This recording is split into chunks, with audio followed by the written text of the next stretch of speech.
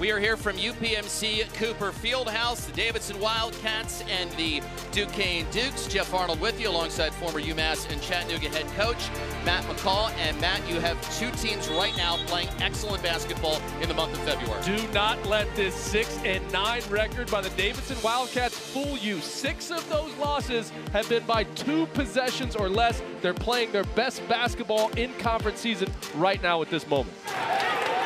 Skogman who they would like to shoot a little bit more. He'll tee one up here and knock it down. And that's what makes it so difficult. Your normal pick and roll coverage. You can see Duquesne wants to ice that ball screen. In and out and back in for Dae Dae Grant. Dae Dae Grant liked that matchup with the five-man on him. And he was a high school coach of LeBron's. Eight on the shot clock here. Huffman, and that's a three ball. And he's a guy that you don't think for Davidson in terms of shooting it from behind the three-point line. Just 17%. Wildcats up by 12 points, trying for their third win in a row. Loyer on the back door, cut and Bailey with the flush. What a pass by Foster Loyer.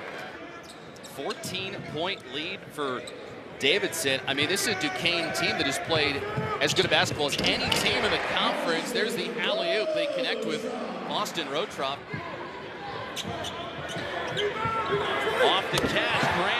Off the catch, Grant hits a three, and that is a big one. When they broke the press, he saw that he didn't have numbers and dribbled it out, and that give him an opportunity to execute their offense.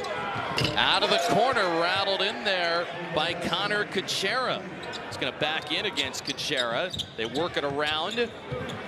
And that is a good three from Dae Dae Grant. Around, multiple guys touched it in the possession, and this is what they've got to do. Try to create turnovers and get out on the break and find some easy baskets. Rozier didn't have numbers. Beautiful pass inside for Rotroff.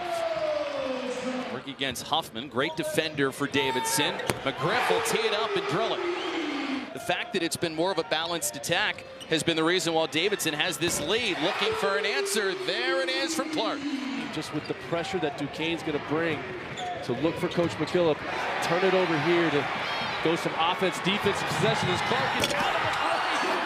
Rattled one home for the dump. Duquesne has got it down to four. All set up by Tre Williams stepping in the passing lane and forcing the turnover.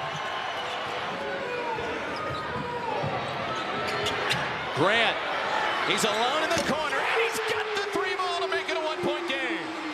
Great offensive possession for Duquesne. They found their guy in the corner. They didn't panic. They didn't try to go too fast.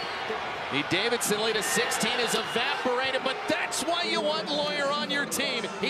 He right back. Here with Williams, five to shoot. Three ball from Loyer. He got it! He got the switch, he got the matchup that he wanted, and he knew that basketball was going through the net. He got right back on defense.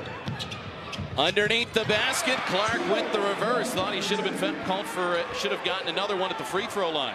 Continued to improve, and his team got one heck of a win here on the road.